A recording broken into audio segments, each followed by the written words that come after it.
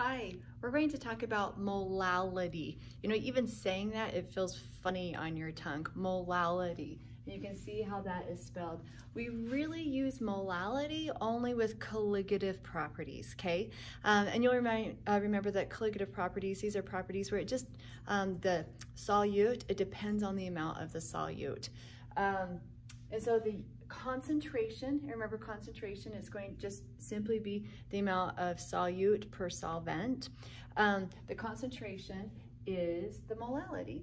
Um, so the symbol that we use for molality is a little m. That was why I was very purposeful in doing a lowercase m here and a lowercase m here. I don't want you to get it confused with molarity. Molarity. Uh, molarity has the R on it right there. That's the only difference between those is the L and the R. And molarity we use everywhere. We use molarity all the time. Molality, you will rarely see this. It's only in colligative properties. And it is weird. Um, of all of our um, concentrations, and there are several videos you can watch for all different kinds of concentrations, this is the only one that the numerator is divided by solvent. I call it the odd man out. It sounds funny, it looks funny, uh, the word itself, and the denominator is solvent. Everything else is divided by, you know what it is? Solution, total solution. Um, so kind of an odd concentration is going to be moles of solute divided by the kilogram of solvent, okay? Um, so I'm going to put a star right here by that solvent. That's what you're going to have to remember. Lowercase m and solvent is in the denominator.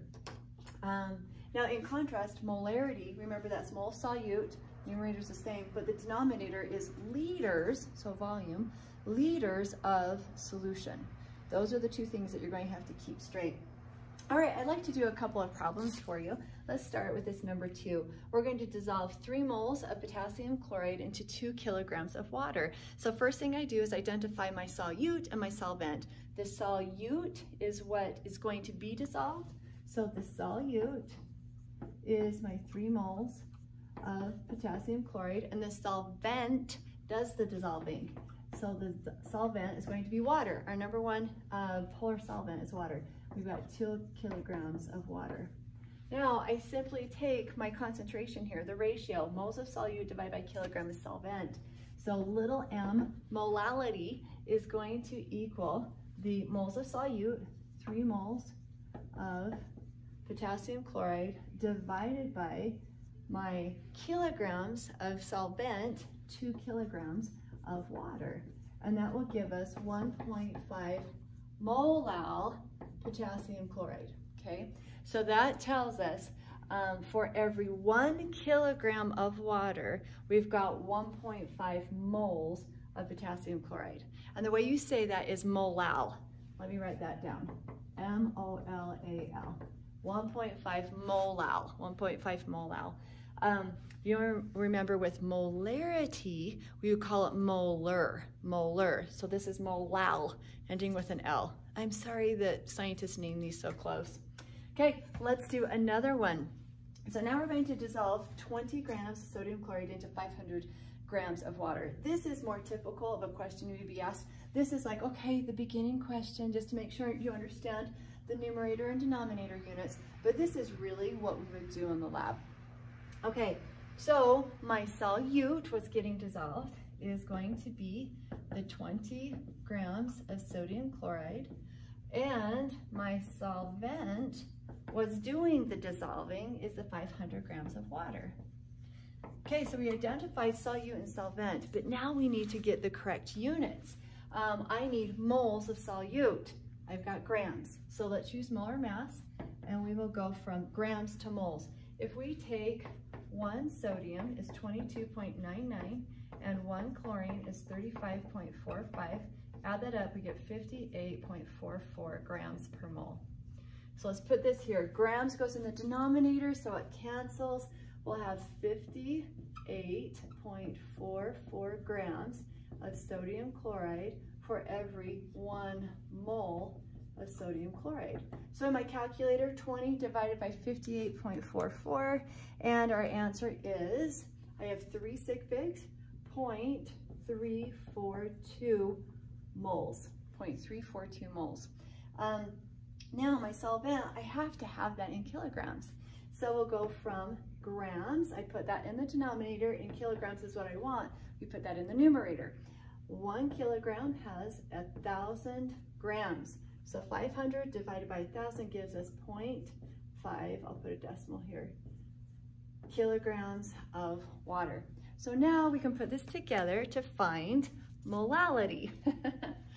so little m is going to be moles of solute, 0.342 moles, and remember that's moles of sodium chloride, divided by the kilograms of solvent, which was 0.5 kilograms of water. So divide that and we are going to get 0.684, 684 molal. So little m sodium chloride. Now, what that tells me, I got 0.684 molal sodium chloride. It means for every one kilogram of water, we have 0.684 moles. So let me give this to you. Let's say that you're given this. How do you break it apart? Always, always, always. When you're dealing with concentrations, break apart the units into the numerator and the denominator. This is how I would break this apart. If I'm given 0.684 molal sodium chloride, this is really what it is. It is 0.684 moles sodium chloride for every one kilogram of water. There you have it. So it's this number understood to be over a one, and it's moles for your numerator, kilogram for the denominator, and then it's whatever your solute is and whatever your solvent is. So rewrite that um, because you could be given something backwards or they give you molality and they say, well, if you have um, one kilogram, how many moles do you have? Let's do that. Let's say that you're given one kilogram of water and they want to know moles of sodium chloride. Okay, I broke this apart. I broke it apart so I can see the moles of the sodium chloride, the kilogram of the water. I'm simply going to take my kilogram and multiply it. Well, if I've got one kilogram of water, notice kilograms cancels, that means I must have 0.684 moles of sodium chloride floating inside of that water. Um, so good reminder, when you're dealing with concentrations, um, if you're given the concentration, always break apart the units for numerator and denominator, and then you can do your math. Looking at the units, it will tell you what to do. If you multiply or you, you divide. Remember, you're just trying to cancel units. Um, so there you have it, molality used with colligative properties. And if you have a question on colligative properties, please watch my video on that. Um, and other concentrations that you want to look at, go to LeanThink for YouTube or leanthink.org. Have a wonderful day. Thank you. Bye.